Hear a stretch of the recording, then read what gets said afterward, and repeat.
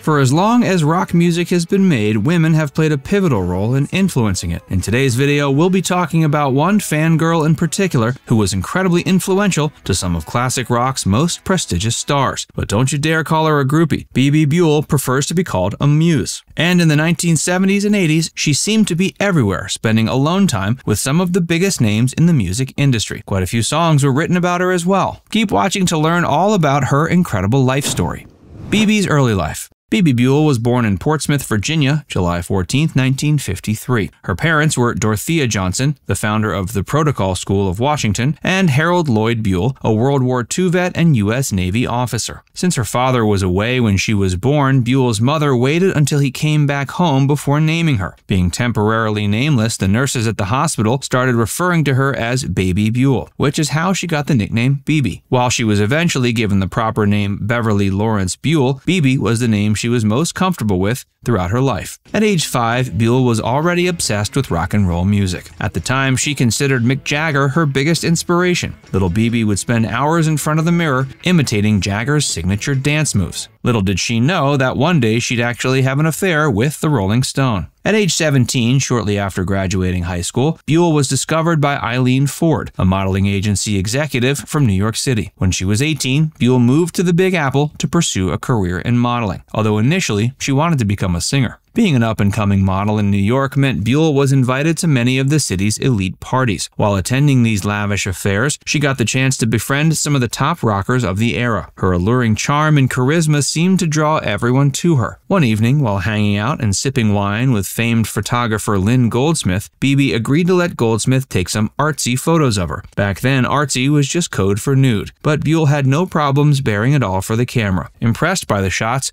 Goldsmith brought the pics to Playboy. Immediately, the popular men's magazine wanted to work with her. They flew her out to Chicago to visit the original Playboy mansion. In November of 1974, Buell was named Playboy's Playmate of the Month. And just like that, she had become the first fashion model turned Playboy centerfold in history. Ford Modeling Agency, however, was not pleased by her nude photo shoot. They had strict policies in place against such things. So they fired her, but that didn't hurt her career in the least, because she was quickly signed by Wilhelmina Agency. For the next couple of years, Buell got to pose for high-profile magazines such as Harper's Bazaar, Vogue, and Cosmopolitan.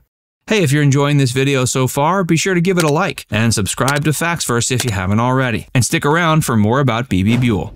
Bebe's relationship with Todd Rundgren. Buell had many love affairs with some of rock's biggest stars of her day, including Mick Jagger, Jimmy Page, Elvis Costello, Rod Stewart, Iggy Pop, and David Bowie. She even earned the nickname Friend to the Stars due to all the celebrities that she befriended and dated. Outside of the music world, her name has also been attached to folks like Andy Warhol and Jack Nicholson. Mick Jagger even once said if he were to dine with royalty, it would have been Bebe he would have brought along with him as a date. Famous faces flocked to her, but one of her most famous relationships was with Todd Rundgren, whom she had an off-again, on-again romance with from 1972 to 78. The duo, who were dubbed by the media as rock royalty, were often compared to other prominent celebrity power couples like Angie and David Bowie and Bianca and Mick Jagger.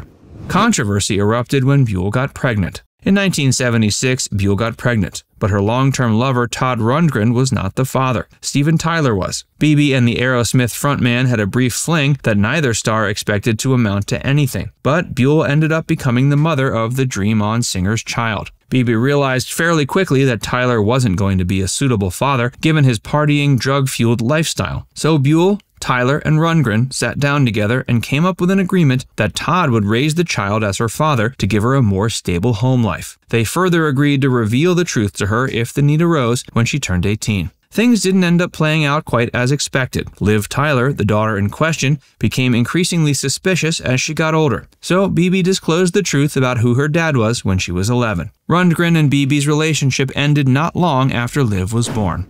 Buell's music career and autobiography. Bebe always had aspirations of becoming a singer. In the late 70s, Buell and Patti Smith formed a close relationship and spent many nights drinking wine, writing poetry, and singing together. In 1981, Buell released her debut EP called Covers Girl. The record was produced by Ric Ocasek of The Cars and featured The Cars on each of its four songs. A couple years later, Bebe formed a band called The B-Sides that put out the album A Side of the B-Sides with the help of her former boyfriend Todd Rundgren as producer. Buell went on to front a hard rock band called the Gargoyles, who got to tour across the US and UK, eventually opening for the Ramones for a number of shows. The news broke about Steven Tyler's paternity in 1991, forcing Buell to take a step out of the spotlight to focus on raising her daughter.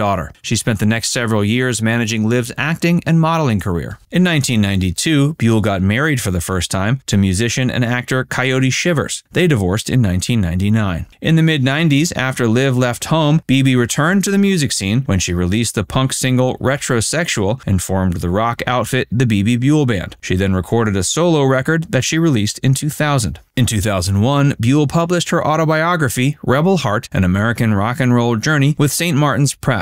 The book went on to become a New York Times bestseller and was issued in paperback the next year. For the better part of the next decade, Buell and her band performed around New York. She later formed another band for a few shows with members of the Boston based band The Rudds and drummer of The Neighborhoods, Johnny Lynch. In 2009, Buell released a single called Air Kisses for the Masses. She followed that up with a 12 track record she put on Amazon and iTunes. In 2011, she released a hard rock album called Hard Love. It was produced by Stephen De Acutis and her second husband, James Wallerstein, whom she exchanged vows with in 2002. Even in her late 60s, Bebe is still writing and performing music, although she hasn't put out a record in several years.